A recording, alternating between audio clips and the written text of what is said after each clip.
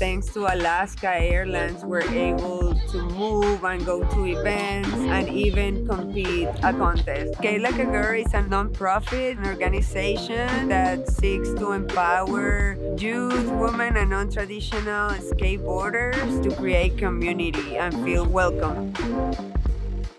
Skateboarding in Venezuela for a girl was very different, was unique, was something that got me inspired nowadays to be there for the next generation and create inclusive spaces and be welcoming because I know how hard it can be.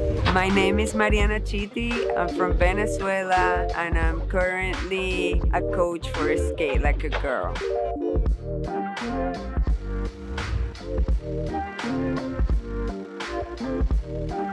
I'm Hora. I love being part of Skate Like a Girl. I've been learning how to create communities, how to connect and be welcoming, create safe places to other people. That way we can get more connected, we can grow as a community.